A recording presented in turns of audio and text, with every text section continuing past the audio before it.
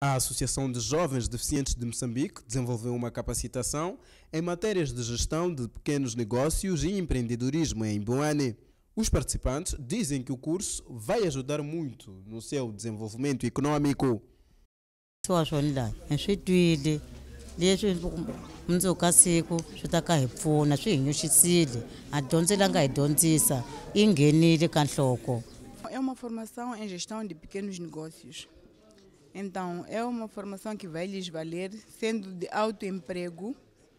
Eles vão receber o kit da, da própria associação.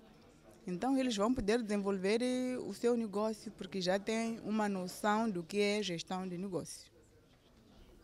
A capacitação tem o objetivo de oferecer aos participantes ferramentas necessárias para a busca do autoemprego, atendendo que muitos deficientes falharam na tentativa de desenvolver seu próprio negócio. ali a ni pfuniwa ka veni vheji va nga hi hosi ya sasasan'we va nga hi pfuna va hi nyika swa ku xavisa hi xavisa se hi kumaka ni ku se hikwalaho ka kusuwani tindlala hi kumaka na se ni kumaka na ni wa ka leswi a ni xavisa swona se ni wile ja ni wo tshama hi mavoko a ni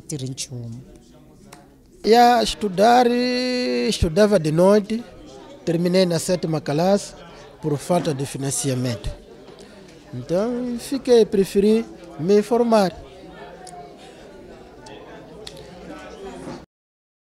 Os formandos queixaram-se ainda da falta de apoio por parte do governo moçambicano. i timhaka ta vusiwana porque a mfumo já u swi vonile swa ku hi ni swilima na hi ni tenki hi ni xa hina. Porque loko va hi hambela kwale ke rikoza hi ta tipfuna hi vusiwana bya hina. Hikusa swi nga henceka ni nga na n'wana ni nga na nchumu maxi ni nga ni xamile. Então loko ni langa leswi ni byelaka ku va swi ni pfuna a mfumo u ni pfuna ni ta pfuneka